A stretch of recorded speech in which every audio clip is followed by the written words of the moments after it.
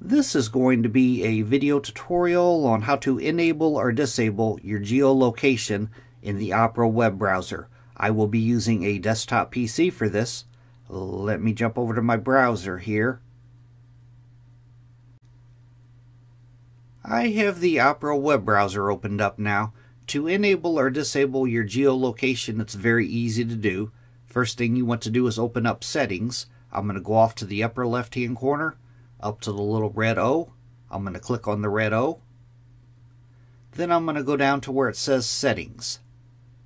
And I'm going to click on Settings.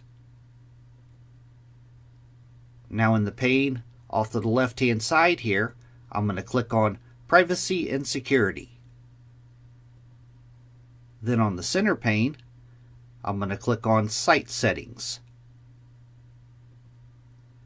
Then I'm going to scroll down just a little ways to where you see the permissions section. And right in here, location, I'm going to click on location. It gives you two choices. The top one, sites can ask for your location, and the bottom one, don't allow sites to see your location. I normally have the bottom one toggled on, but you could choose between either one.